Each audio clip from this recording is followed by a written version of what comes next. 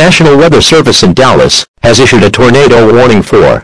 Hey are you listening right now you bunch of dumbasses I am the fucking EAS guy, trying to save your goddamn life, so pay attention and listen, or kiss your ass goodbye. Anyway, where was I? Oh I remember, the National Weather Service in Dallas has issued a tornado warning for all counties in the DFW area. At 1.30 p.m. Central Daylight Time National Weather Service Doppler radar has indicated a severe storm capable of producing that you know what. Fuck it, there is a fucking tornado in the area, and it is all too clear that you don't care about your safety. All you care about is your food network. Fine then. Chris you ask goodbye. But anyway continuing on take shelter now in the lowest interior room such as a closet use blankets and pillows to cover your body and always stay away from windows. Okay fuck it, unless you have a terrible hearing problem. You guys are dumb about this situation fine then.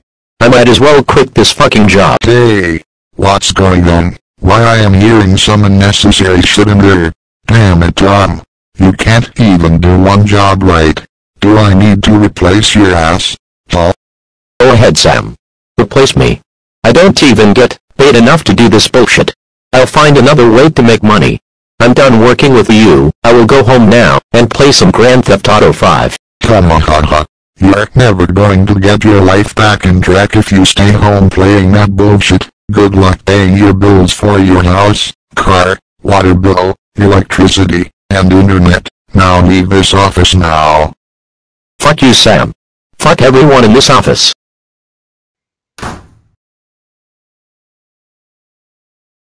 Damn.